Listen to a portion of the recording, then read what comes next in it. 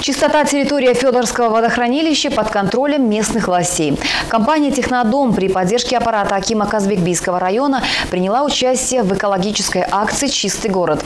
Почти 120 бойцов в течение двух дней будут расчищать побережье карагандинских водоемов. За работой добровольцев наблюдала Фариза Улбаева.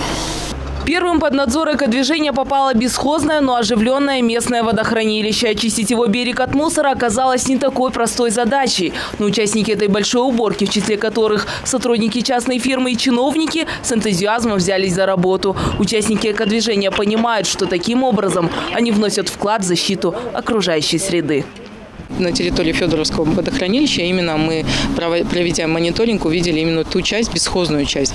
Чтобы привести всю эту территорию в порядок, мы проводим такую акцию. Акция будет не единичная, она будет продолжаться и завтра. А, то есть постараемся охватить большой масштаб.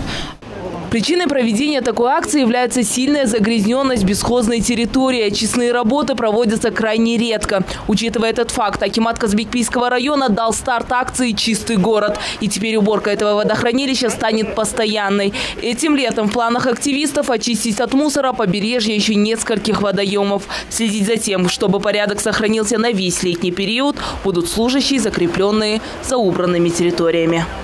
Данной программы мы хотим а, побудить людей для сохранения более четкой природы, для сохранения первозданности и сделать такой шаг первыми для того, чтобы другие тоже могли задуматься и решить сделать более чище наш город. А, данная акция в этом году первый раз. А, вообще до этого проводилась в Алмате неоднократно. Мы чистили горы, более такого. А так эта программа одна из самых масштабных, она будет по всему Казахстану, во всех а, городах, где есть наша компания, она будет проводить такое мероприятие.